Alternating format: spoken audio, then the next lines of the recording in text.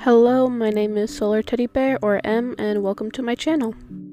This video is mostly going to be a formal introduction to me and what my content will mostly be. I think I'll make a video like this like, I don't know, once a year just to keep the channel up to date. Stick around for a bit of an idea for future content.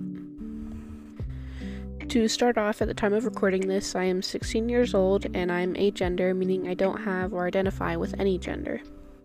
It's under the non binary spectrum. I use mostly any pronouns, however, if you're unsure of the ones I mainly decide to go by at the moment, just use they, it for me. I'm a self taught artist and animator, and while I don't really intend for art and animation on YouTube to be a full career, I do intend for it to be something I can earn some side money doing, sort of like financial cushion for if a job in the workforce doesn't work out or something happens. And also because I'm very, very passionate about my work, especially revolving around my OCs or original characters and their backstories. Now, onto the kind of content I intend to create.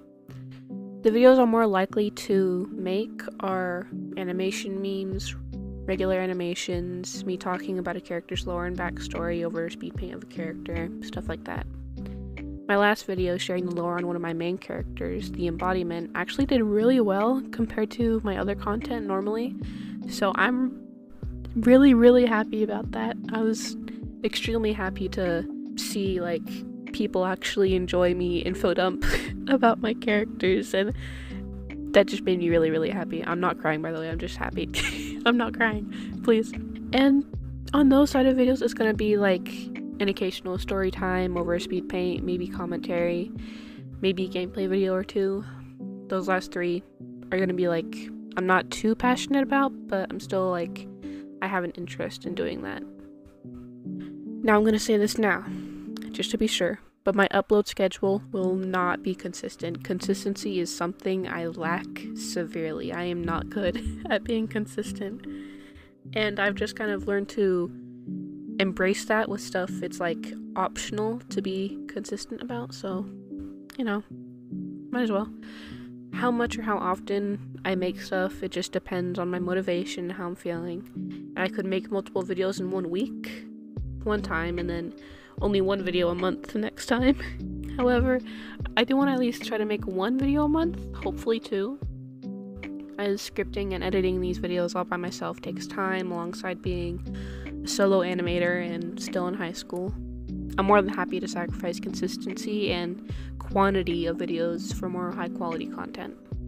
The main videos I plan on posting soon is a backstory and origin video on Lindell, a choice animation meme, and an animation meme of that funny Markiplier video where he goes like, "What if I, if didn't, didn't run? What if What I'm if I'm not, not a a coward?" To like that buff SpongeBob game. I really forgot what the um game was, but I remember like we were playing a Squidward and and they're and they're like people Krabby Patties or something. I can't really remember much, but it was a while ago, and I remember that. Also, a bit of a heads up.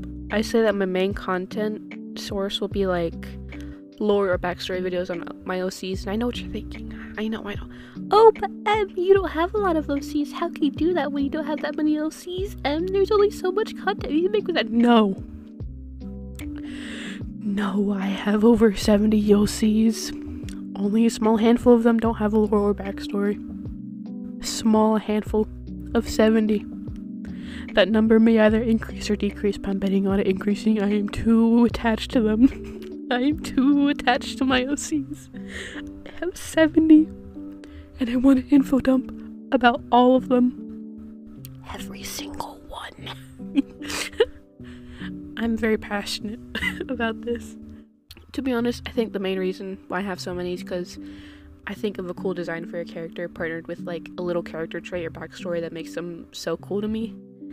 Like how I made a character based entirely on like me liking white hair and yellow or orange eyes on characters, and how I also like those girl boss characters are like the epitome of a walking big sister trope.